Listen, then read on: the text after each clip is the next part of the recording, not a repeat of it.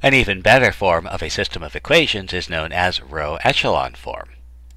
We say that a system of equations is in row echelon form if, first of all, the equations are in standard form. So this system of equations is not in row echelon form because it's not in standard form. Also, if we've agreed to the order x, y, z of the variables, then this system of equations is also not in standard form because the variables are out of order. The next requirement is that for each equation, the first non-zero coefficient occurs later in the variable sequence. If we've written the equations in standard form, this means our system of equations will have a stepped appearance. So in this last system, the first equation starts off with an x term. The next equation starts off with a y term, as does the last equation. And so this cliff that we've run into indicates that we are not in row echelon form. So none of these systems of equations is in row echelon form. What about these systems of equations? Well, in our first set, we see that the equations are in standard form, and the first non-zero term of each equation occurs later in the variable sequence. So this system is in row echelon form. Similarly, the second system of equations is in standard form, and the first non-zero term of each equation occurs later in the variable sequence. So this system of equations is also in row echelon form.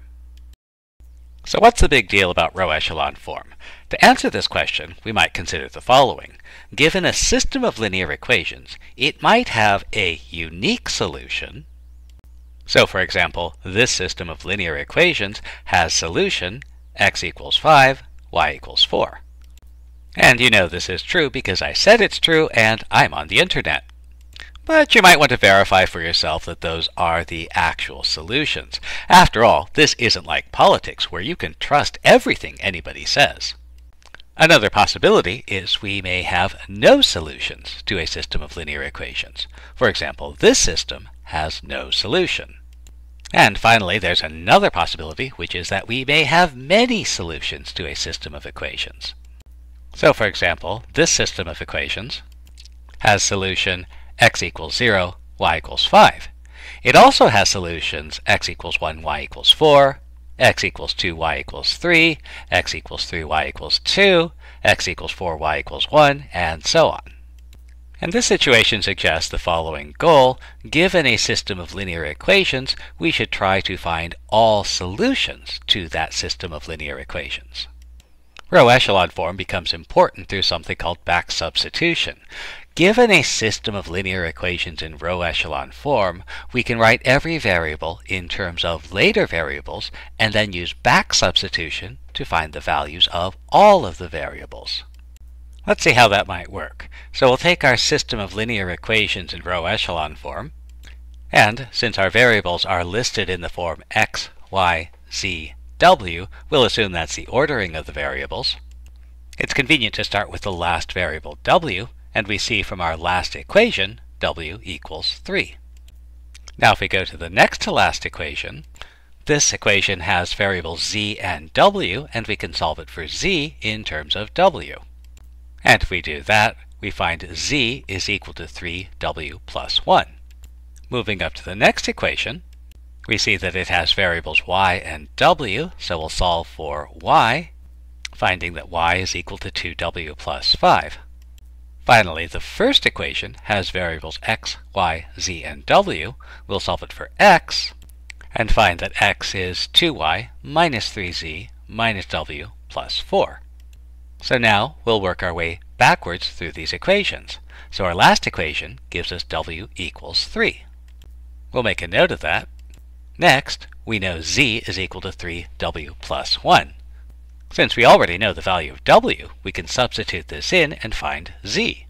And so now we know that z is equal to 10.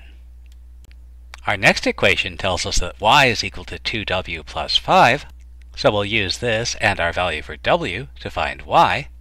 So we know y is equal to 11.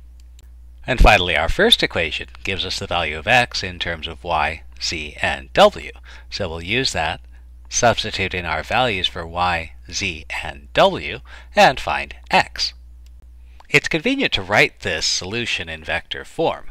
Because we've decided an order of the variables, we also have an order of the vector components x, y, z, w, and so we can compactly express our solution as the vector negative 7, 11, 10, 3. Row echelon form is particularly useful when we have to parameterize our solutions. In this case, what we can do is set any variable that is not the leading variable of an equation equal to some arbitrarily chosen parameter. The variables we set equal to a parameter are called the free variables. We can then solve for the remaining variables in terms of these parameters, and these other variables are called the basic variables. And as before, we can try to express our solutions in vector form. So suppose I have a system of equations in row echelon form and I want to express all solutions to this system. So the first thing we should do is to identify the free variables, those that will be set equal to parameters. So remember, these are going to be the variables that are not the leading variable of any equation. So if we take a look at our equations, we see that we have four variables, x, y, z, and w, and while x and z are leading variables, y and w are not. So we'll let w equal t and y equal s, two parameters. Now we can use the equations to solve for our basic variables. And we're going to work our way backwards through the equations. So in the equation z plus 3w equals 1, we'll substitute our value w equals t, giving us the equation z plus 3t equal to 1, and we can solve that for z equal to negative 3t plus 1. And we'll write that down as a part of our solution. Next, we'll go to the preceding equation, x minus 3y plus z minus 4w equals 5. And so we'll substitute in the values for y, z, and w into our equation, and then solve that equation for x. And when we do that, we find that x is equal to 3s plus 7t plus 4, and we'll write that down. What about a vector form of the solution? To find that, we might begin by writing our solution as a vector. And here's a useful idea in mathematics and in life. Consistency counts.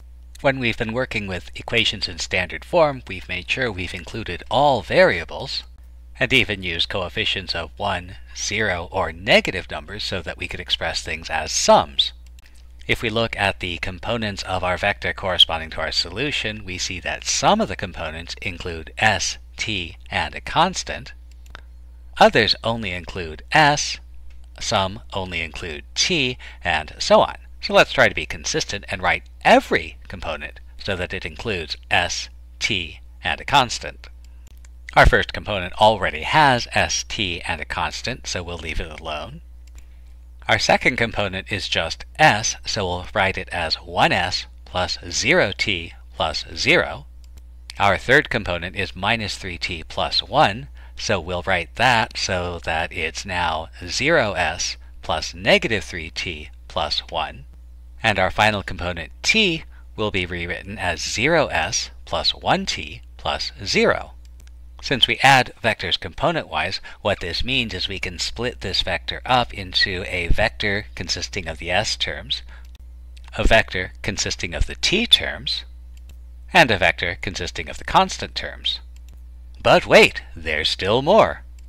Because of scalar multiplication, I can remove the s from each component of this vector and place it as a scalar multiple. And likewise, this t can become a scalar multiple of a constant vector. And this gives me a vector form of our solution.